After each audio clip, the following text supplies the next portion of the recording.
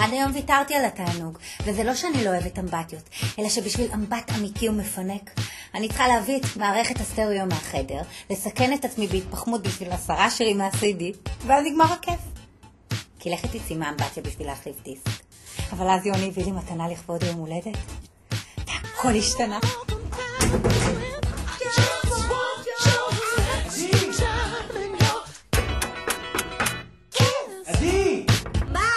כשנכנסת לדירה אמרת שמקלחת אצלך זה עשר דקות. יוני, הנגן הזה אחלה, אבל למה רק 256 מגה? קצת מיותרת השאלה הזאת שאת תקועה במקלחת כבר שעה. מה אתה בלחץ? סך הכל 60 שירים. ארבע שעות גג ואני בחוץ. מה ארבע שעות?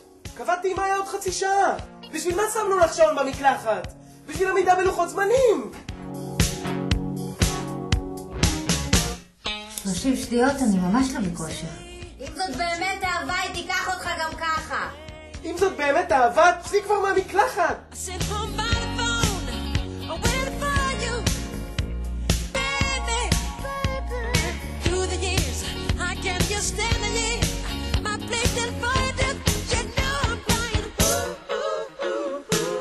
שלא שמע מעולם את קולו הערב של חוליו איגלסיאס מתחת למים, חייב לעצמו את העונג המשונה הזה.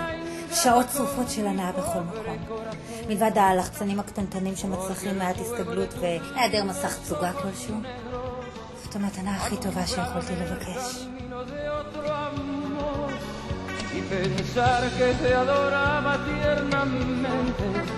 que a tu lado como nunca me sentí. Y por esas cosas raras de la vida, חתיך! מה אתה מסתבך? בוא.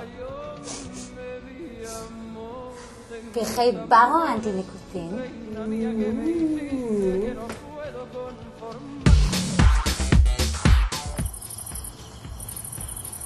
אך, תראי את הירח. ראיתי אותו.